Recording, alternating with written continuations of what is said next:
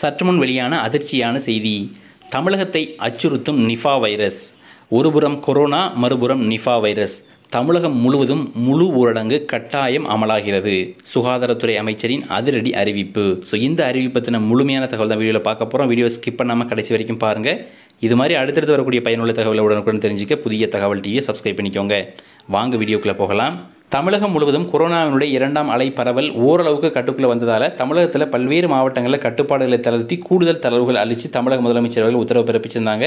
இந்த உத்தரவின் போது என்ன சொல்லியிருந்தாங்கன்னா இந்த தளர்வுகள் அனைத்துமே பொதுமக்கள் சிரமப்படக்கூடாது அப்படின்ற நோக்கத்தோடு தானே தவிர பொதுமக்கள் இதை முறையாக பயன்படுத்தினா தான் வந்துட்டு கொரோனா பரவலை கட்டுப்படுத்த முடியும் அப்படின்னு அறிவிச்சிருந்தாங்க. ஆனால் பொதுமக்கள் யாரும் முறையாக இந்த கொரோனா வழிகாட்டு நெறிமுறைகளை பின்பற்றாதனுடைய விளைவாக தமிழகத்தில் தொடர்ந்து நான்காவது நாளாக தினசரி கொரோனா பாதிப்பானது உயர்ந்துகிட்டே வருது. கடந்த கடந்த இருபத்தி நாலு மணி நேரத்தில் பதிவு செய்யப்பட்ட இந்த கொரோனா தொற்றான அடிப்படையில் ஆயிரத்தி ஐநூற்றி தொண்ணூற்றி ரெண்டு பேர் தமிழகத்தில் பாதிக்கப்பட்டிருக்காங்க. இதே கடந்த செப்டம்பர் மாதம் ஒன்றாம் தேதி ஆயிரத்தி ஐநூற்றி ஒன்பதாக இருந்த பாதிப்பானது படிப்படியாக உயர்ந்து நேற்றைய தினம் அதாவது செப்டம்பர் ஐந்தாம் தேதி ஆயிரத்தி ஐநூற்றி தொண்ணூற்றி ரெண்டு பேருக்கு வந்து கொரோனா தொற்றான உறுதி செய்யப்பட்டிருக்கு. அதாவது இது குறைவான எண்ணிக்கையாக இருந்தாலும் கூட தொடர்ந்து அதிகரித்து வரக்கூடிய இந்த கொரோனா தொற்றானது அடுத்தடுத்து மூன்றாம் அலைக்கு வழிவகுக்குமோ அப்படின்ற மாதிரி ஒரு அச்சத்தை ஏற்படுத்தியிருக்கு. இது ஒரு புறம் இருக்க. நிஃபா வைரஸ் அப்படின்னு சொல்லக்கூடிய ஒரு புதிய வகை வைரஸ் ஆனது கண்டறியப்பட்டிருக்கு.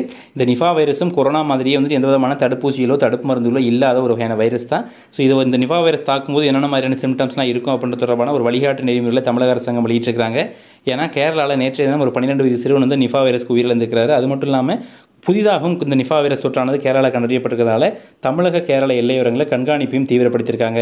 அதே சமயம் ஒருபுறம் கொரோனா வைரஸ் மறுபுறம் வந்துட்டு நிஃபா வைரஸ் இந்த மாதிரி தடுப்பு மருந்துகளோ தடுப்பூசிகளோ இல்லாத வைரஸ் பரவலால் தமிழகத்தில் மீண்டும் முழு ஊரடங்கு கட்டாயம் பிறப்பிக்கப்படணும் அப்படின்ற மாதிரியான ஒரு இக்கட்டான நிலைக்கும் தமிழக அரசாங்கம் தள்ளப்பட்டிருக்கு. அதே சமயம் பார்த்தீங்கன்னா வருகின்ற பதினைந்தாம் தேதியோட அதாவது செப்டம்பர் பதினைந்தாம் தேதியோட இந்த ஊரடங்கு தளர்வுகளுடன் கூடிய ஊரடங்கு நிறைவேற இருக்கக்கூடிய சூழ்நிலை தமிழக முதலமைச்சர் அவர்கள் வருகின்ற வாரத்தில் ஆலோசனை செய்து இந்த முழு ஊரடங்கு அதாவது நிஃபா வைரஸ் நிஃபா வைரஸ் மற்றும் கொரோனா வைரஸ் வந்து பொதுமக்களை காப்பதற்காக நிச்சயமாக ஒரு க தற்காலிகமான குறைந்தபட்சம் ஒரு பதினைந்து நாட்களுக்கான ஒரு முழு ஊரடங்காக பிறப்பிப்பாங்க அப்படின்ற மாதிரியான தகவல்களும் வெளியாக இருக்குது இந்த சட்டசபை கூட்டத்தோடு நிறைவடைந்ததுக்கப்புறமா இது தொடர்பான ஆலோசனை மேற்கொள்வாங்க.